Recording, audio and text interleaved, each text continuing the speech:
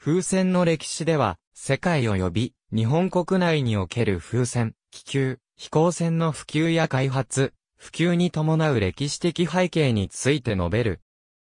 風船の文化は、気球、飛行船の歴史とも関連しているので、気球、飛行船の歴史あるいは航空に関する年表も合わせて参照のこと。1657年以降複数回行われたゲーリ家のマクデブルクの半球実験。浮力を持つ真空球のアイディアの元となったとされる。1670年にフランチェスコ・ラナが提唱した真空飛行船の図。1783年にジャック・シャルルらが登場した水素ガス気球。風に乗り空中を漕ぎ歩く船は、日本では空船とも風船とも呼ばれた。気球ショーマンのソフィー・ブランシャールが1811年にミラノで行ったナポレオンの42歳の誕生日記念飛行のが、気球は見せ物の道具としても多く使われたが、時にショーマンが事故で命を落とす悲劇ももたらした。1836年のドイツ、バイルブルクでのイギリス人の気球飛行士、チャールズ・グリーンの気球。彼は、様々な気球の冒険を行い、また石炭ガス気球により数多くの一般人の気球遊覧を無事故で行った。1870年9月以降に、不仏戦争で籠城となったパリ市内から飛ばされた友人の郵便気球。1877年5月に築地海軍総連上で行われた風船土産の図。1900年のゼッペリン飛行船の初飛行。1901年にパリのエッフェル塔の周回飛行に成功するデュモイの飛行船6号。1929年8月に初めての世界一周飛行で日本の霞ヶ浦航空隊基地に寄港した飛行船セッペリン白号第二次世界大戦で日本が1944年頃からジェット気流に乗せてアメリカに向けて飛ばした風船爆弾。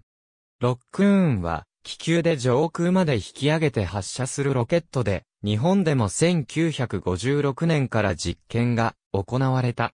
アメリカの風船衛星エコーは1960年と1964年の2回打ち上げられた。レジャー用熱気球は日本では1970年代以降、スカイスポーツとして普及したが、強度と耐熱性を持つナイロン素材が開発され、熱気球の玉川に用いられるようになったことも、普及の一因となった。1787年に、蘭学者の森島中良らにより刊行された、光毛雑話に収められているリユクトスロープの図。同様の図は、林紙幣が1787年以降に逐次、刊行された、開国兵団のリュウコ都市月地府の図にも見られる。日本では、風船の言葉の意味が時代とともに大きな変遷を遂げている。ルッチャトブルリユクトバルルックドバルーン。ルーツロープリユクトスロープルックドスロープ。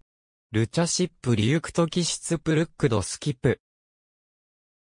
日本人形玩具辞典、斎藤良介、東京堂、出版、1968年、風船のコーピー389から391。日本のおもちゃ遊び、斎藤良介、朝日新聞社、1972年、気球の歴史レナード・コットレル著、西山朝次郎役、大陸処方、1977年、ゴム用添加剤活用技術、渡辺隆、平田康、工業調査会、2000年、ISBN4 から7693から 4144X ハット、贈呈明治事物起源、石井剣道、春陽道、1926年、飛行船もう一度飛びなさい、ジョージフフード著、高等製薬、白銀処方、1975年、P84、世界の博物館11ミュンヘン科学博物館、高橋雄三、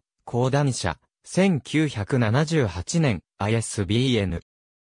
4から06から14万2511から0。日本飛行機物語へ、内藤一郎、小山閣、1972年、舶来事物起源辞典、富田仁名著普及会、1987年、科学大博物館、装置、器具の歴史辞典、橋本武彦、梶正則、広野義行監訳、朝倉書店、2005年、ISBN 978から4から254101867、ゴムの科学フロインドリヒ著、桂井富之助役、白水社、1942年、空飛ぶ機械にかけた男たち、アレン・アンドルーズ著、河野健一役、創始者、1979年。ありがとうございます。